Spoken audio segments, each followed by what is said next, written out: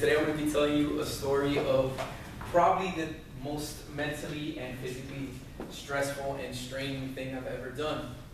Um, that's actually why I'm wearing this shirt as a visual representation of it. But back in 2014, actually, not 2013, um, probably one of the worst influences in my life, my best friend. Any of you guys have that? Everyone does, right? Um, he calls me and he tells me, Enrique, uh, my wife can't do the half marathon. Could you jump in? I don't know, man. How many miles is that? Oh, 13. 13.1 to be exact. Uh, I don't know if I can do that. At this point, I was probably about 20 or 30 pounds overweight. Nah, man, you're you're an animal. You've done this. You've done physical things your whole life. You could do this. And at the end of the day, he got into my head so much that I had so much false bravado. I was like, yeah, I can do this. I'm an animal. I got this. It was about a month and a half before the actual race, before the actual half marathon.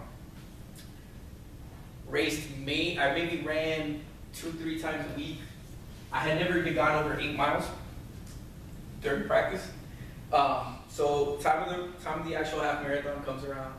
I think to myself, all right, it's game time. I go to Under Armour. I spent about $150 on equipment.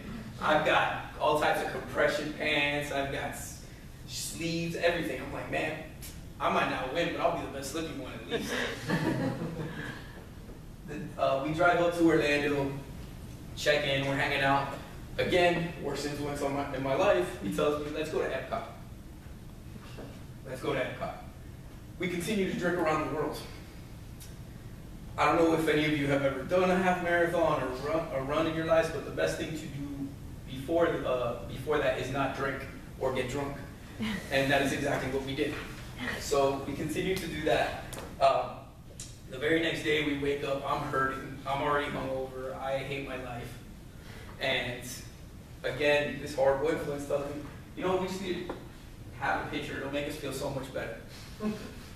I did it, it didn't make me feel any better, but whatever time of the event comes, I start getting all decked out. I'm putting on my tights, I've got my compression, everything.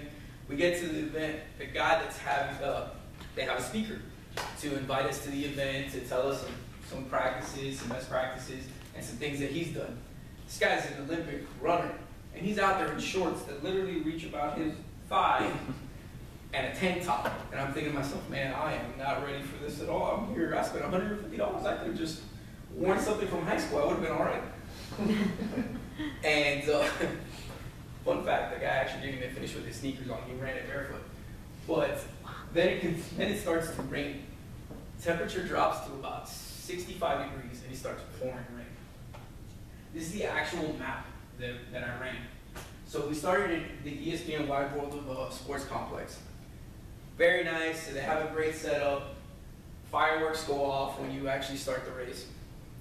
And we go from there and run all the way to Animal Kingdom. There are hundreds of people running this race all at the same time. For whatever reason, when I get to Animal Kingdom, I'm absolutely by myself. It is dark. I, I hear all kinds of noises. I'm thinking to myself, this is where I die. this is 100% where I end up in a lion or tiger cage and no one ever sees me again. And for, again, whatever reason, when I finally get to the parking lot is when I start seeing people again. And uh, the whole time, I'm thinking to myself, the only thing that I can't do is end up on the bus. Because they tell you, everybody gets a medal, all you have to do is finish. But you have to keep pacing. Pace is, it was 15 miles, 15 minutes a mile. If not, you get in this little bus, they call it Dopey bus, and you have to be taken to the very end of the race. You don't get a medal, and everybody looks at you like, wow, you didn't finish the race. Why'd you spend all $400 of this to, to race? so I get to get out of Animal Kingdom. It's it is an actual great production that they put on because they have characters every every about two or three miles. They have photo spots. I didn't run nearly fast enough to be able to do that. It actually made me very upset when I would see people just stop and take pictures and then just run as fast as they can past me again. Um, but they have water and Gatorade all available for you. But then it gets to the point about mile nine over there by, by uh, MGM. or Hollywood Studios, depending on how young you are, still call it MGM, out of principle. Um, they have these energy, uh, energy, like almost glue. It, it felt like glue going down your throat. It was pretty gross. Hit me like a brick. I started cramping up.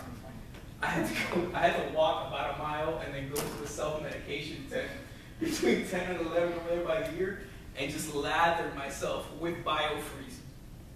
BioFreeze is, if you ever played sports, it's like God's gift to athletes because it's uh, icy hot on steroids.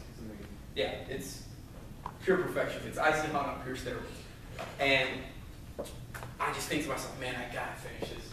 I'm looking at, and I'm looking at time dwindle and my average running down. And at that point, I had gotten into about uh, 10 minutes and 45 seconds on, mile.